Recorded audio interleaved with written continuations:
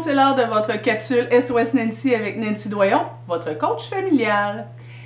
Aujourd'hui, j'ai envie de vous parler d'un des désirs les plus ardents chez les enfants, en particulier quand ils ont entre 3 et 5 ans, c'est le désir et le besoin, dans le fond, d'avoir du pouvoir.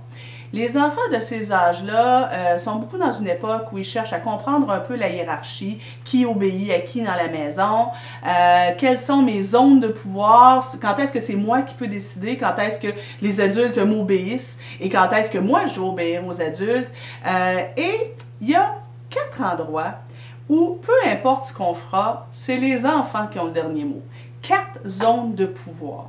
La première zone où, peu importe ce qu'on fera, les enfants vont toujours gagner, c'est ce qui entre. Donc, qu'est-ce que l'enfant décide ou non de manger? On remarquera que vers l'âge de 3 ans et demi, 4 ans, ils décrètent un jour qu'ils n'aiment pas le brocoli alors qu'ils ont toujours aimé ça avant. Et les enfants ont beaucoup de pouvoir là-dessus à dire non, moi aujourd'hui, j'ai pas faim, est-ce que j'ai assez mangé, etc. Et ils vont refuser de manger, même si dans le fond, ils auraient faim, juste parce qu'ils ont le pouvoir de le faire. Deuxième zone où ils ont beaucoup de pouvoir, c'est sur ce qui sort. Donc, on pourrait attacher un enfant sur une toilette pendant des heures s'il décide qu'il fait son petit caca au moment exact où on a fini d'attacher le dernier bouton, ben il va le faire. Parce que parfois, c'est un, des endroits où il y a énormément de plaisir à avoir du pouvoir. troisième zone où les enfants ont aussi beaucoup de pouvoir, c'est sur le sommeil. On peut aussi attacher un enfant dans son lit. S'il décide qu'il dort pas, il dort pas. Et on va voir beaucoup d'enfants de 3 ans et demi à 5-6 ans euh, lutter énormément contre le sommeil juste parce qu'ils ont la possibilité de le faire. Dernière zone où ils ont vraiment beaucoup de pouvoir, c'est sur le langage. C'est vraiment vers l'âge de 3 ans et demi, 4 ans qu'on va voir apparaître le mutisme sélectif. Et euh, plus on va vouloir qu'un enfant nous parle, moins il va vouloir nous parler.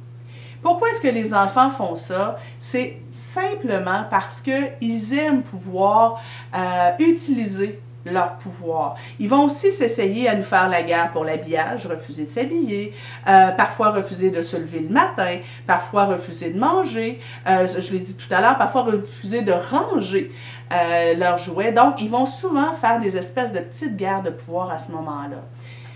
Ma suggestion est d'une part, faites attention à ne pas être trop contrôlant envers les enfants.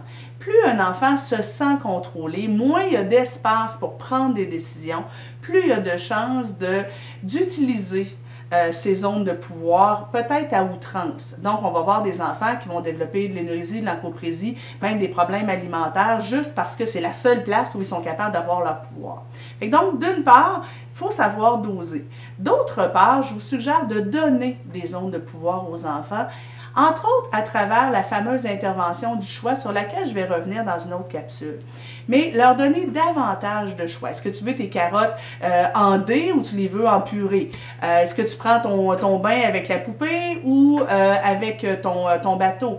Donc, leur donner davantage de zones de pouvoir. Et quand ils embarquent dans une espèce de petite guerre de pouvoir, moi, ce que je vous suggère, c'est ils sont en train, ils viennent de sortir leur gants de boxe, essayent de se battre avec vous. Baissez les gants. Et dites-leur des choses comme Écoute, tu veux pas manger, ça t'appartient, c'est ton choix. Par contre, il faut que tu comprennes qu'il n'y aura rien d'autre, par exemple, avant la collation.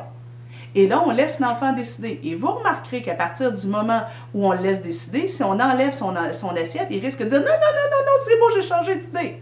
Euh, à l'enfant qui refuse d'aller aux toilettes, qui veut garder une couche, pas de problème, mon grand. À mon avis, à 16 ans, tu n'en auras plus de couche garde ta couche. Quand tu seras prêt à être un grand garçon, à être une grande fille, il n'y a pas de problème, on le fera. L'enfant qui refuse de dormir, on baisse les gants encore une fois, on pourrait lui dire quelque chose comme Écoute, tu n'es pas obligé de dormir, mais tu restes dans ton lit pour la sieste. Mais si tu ne veux pas dormir, moi, ça ne me dérange pas, c'est toi qui seras fatigué par la suite. À l'enfant qui ne veut pas parler, on ne le force pas à parler. Tu ne parleras quand tu seras prêt. Par contre, moi, je vais m'intéresser à quelqu'un qui discute avec moi.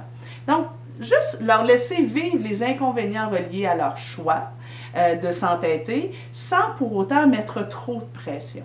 J'espère que c'était clair. Je vais revenir sur l'intervention du choix dans une autre capsule. D'ici ce temps-là, je vous invite à visiter le sosnancy.com pour voir des textes sur toutes sortes de sujets. Bye bye!